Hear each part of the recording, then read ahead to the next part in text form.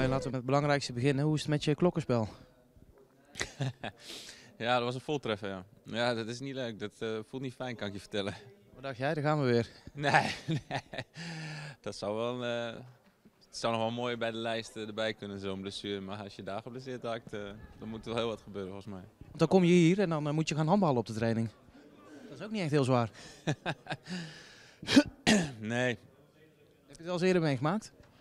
Jawel, ik heb het wel eens eerder meegemaakt. eh, maar ja, goed. eh, ja, het is, het is ook niet mijn ding. Ehm, ik, eh, ik vind ook, laat mij maar gewoon lekker voetballen. En, ik heb er ook nooit zo heel veel mee, maar ja, dat wordt wel eens gedaan. Dit was ook, het training stond in het teken van herstel.